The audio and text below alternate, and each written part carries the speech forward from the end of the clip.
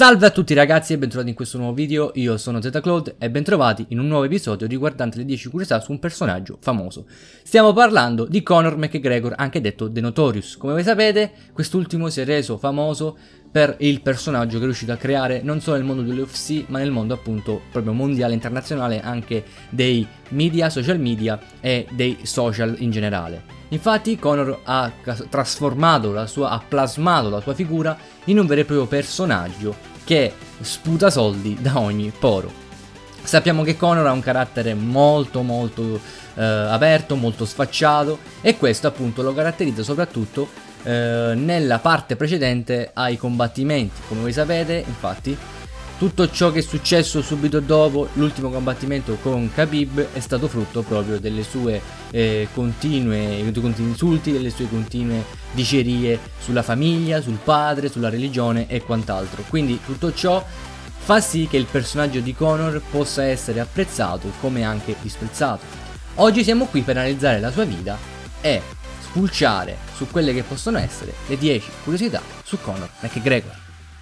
Conor Anthony McGregor nasce a Dublino il 14 luglio del 1988 da Tony e Margaret McGregor e ha due sorelle, Erin e Oife. Tuttavia, il giovane Conor non ebbe subito la passione verso la lotta. Quando cominciò a avere questa uh, spia, questo amore verso la lotta, ebbe appunto un grandissimo scontro con il padre e con la madre, che fondamentalmente non volevano che lui intraprendesse una uh, strada così uh, pericolosa, dato che ovviamente non subito si diventa famosi, ma prima si deve prendere di santa ragione.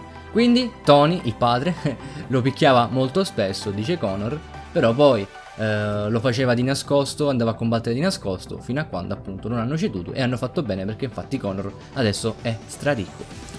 Lo sapevate che anche il padre di Connor è testimone di una bevanda energetica? Si chiama Lucosate Zero mentre il figlio, appunto, Connor, è testimonial del nuovo whisky che ha creato lui, chiamato appunto The Notorious. Da bambino, McGregor amava alla follia il calcio, come qualsiasi bimbo che nasca appunto nella penisola eh, della Gran Bretagna, quindi compresa anche l'Irlanda. Sport in cui si racconta fosse molto più che promettente, quindi una giovane promessa e il suo sogno era quello di diventare un giorno abbastanza bravo da poter giocare nella sua squadra del cuore, che non era appunto una squadra irlandese, bensì una squadra inglese, stiamo parlando del Manchester United. La sua prima e ultima squadra di calcio fu la Yellowstone Celtic, una squadra dilettantistica, infatti se la cercate su Wikipedia neanche spunta. Prima di entrare nel mondo delle arti marziali miste, Conor McGregor ha lavorato per un anno come apprendista idraulico questo avveniva tra il 2006 e il 2007, quando il fighter irlandese non era ancora ventenne e cercava un'occupazione stabile.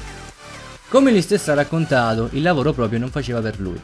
Per questo, pur con una situazione economica tutt'altro che facile, capì che per inseguire i propri sogni doveva rischiare e quindi lasciò l'azienda per dedicarsi ancora di più alla palestra. Conor è riuscito a perfezionare il suo stile di combattimento grazie alle numerose sessioni di allenamento che ha sostenuto con l'allenatore israeliano Ido Portal, guardatelo qui in foto, ideatore del Movement Training, che è una particolare tecnica di preparazione che prevede l'utilizzo di bastoni, camminate sulla corda e altri esercizi mirati a trovare sempre un perfetto equilibrio. Qualità fondamentale in una disciplina dove una sola caduta può rivelarsi fatale.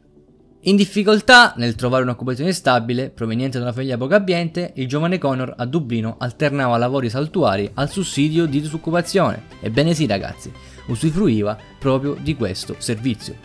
La settimana precedente al suo primo incontro nel mondo delle arti marziali miste, il fighter irlandese ha raccontato di aver eh, ricevuto un assegno pari a 235 sterline mentre i primi veri soldi poi sono arrivati soltanto 5 anni dopo l'esordio come professionista. Quindi diciamo che anche eh, costruendo, iniziando la sua carriera da combattente, i veri soldi sono, hanno tardato ad arrivare.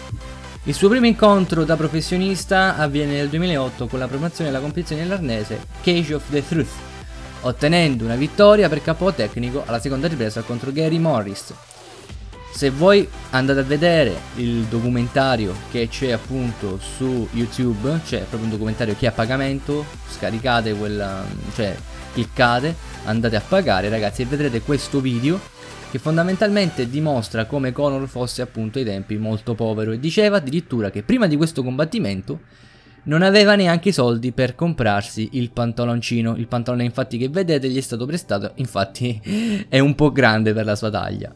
Conor è un lettatore cauto, ma allo stesso tempo aggressivo, che ama prendere l'iniziativa e colpire con estrema rapidità. Non è un caso che alcuni dei suoi match si siano conclusi in pochissimo tempo. Sono infatti da segnalare anche le vittorie all'esordio da professionista contro il connazionale appunto Gary Morris, fece durare l'incontro solo 8 secondi.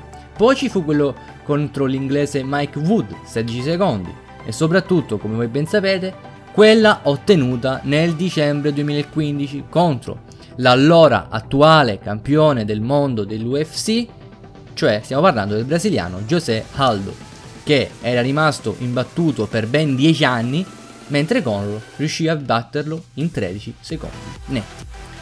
La vittoria più rapida in assoluto però risale al 16 aprile 2011, quando durante l'evento Immortal FC 4 McGregor al suo nono incontro da professionista stende un altro fighter irlandese chiamato Patrick Doherty in qualcosa come 3 secondi ragazzi, con un sinistro diretto alla testa. Prima dell'incontro con Khabib, l'irlandese non si è comportato proprio da signore. Ad aprile infatti scaraventò come vedete qui in foto una transenna verso il, pullman in cui vi erano Khabib e il suo team, Subito dopo seguì una carrellata di conferenze stampa in cui appunto insultava pesantemente il russo, suo padre, la religione e quant'altro. Conor, dopo essere stato sconfitto da Khabib, venne preso di mira dagli allenatori del russo, i quali lo colpirono alle spalle più di una volta. Tutto questo avveniva mentre Nurmagomedov invece se la prendeva con il team di McGregor. Alla fine di questa lista funambolica, Conor però deciderà di non fare causa ai russi e quindi non avere nessun risarcimento. Una cosa però Conor l'ha detta con una foto su Instagram. I will back. Quindi ragazzi, aspettiamoci a breve un ritorno di Conor McGregor sull'ottagono. Ebbene ragazzi, il video si conclude qui, spero vivamente che vi piaccia questo format, che vi siano piaciute appunto queste curiosità. Ditemi se sapevate tutto o se effettivamente qualcosa non la sapevate. Prima di lasciarvi però volevo appunto commentare un po' la situazione. Ovviamente Conor è un, um, un ragazzo comunque soli 30 anni che ha cercato di plasmare appunto un personaggio fondato appunto sulla spavalderia, ecco. Quello che noi non dobbiamo dimenticarci è che tutto quello che noi vediamo in tv è uno spettacolo e in quanto tale ci sono molti soldi dietro, molta finzione.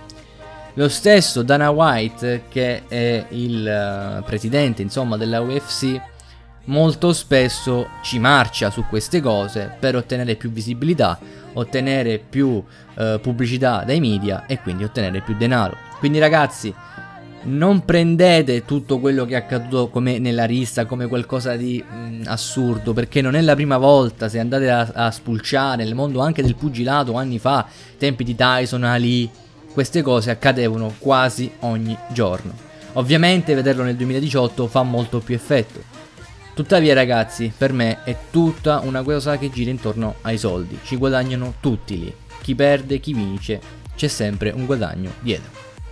Ovviamente ogni comportamento di questo deve essere condannato, però in questi determinati tipi di ambiti sappiamo che lo fanno proprio apposta. Vi invito comunque come al solito a iscrivervi al canale, commentare qui sotto ragazzi, adesso è veramente tutto, ciao da ZCloud.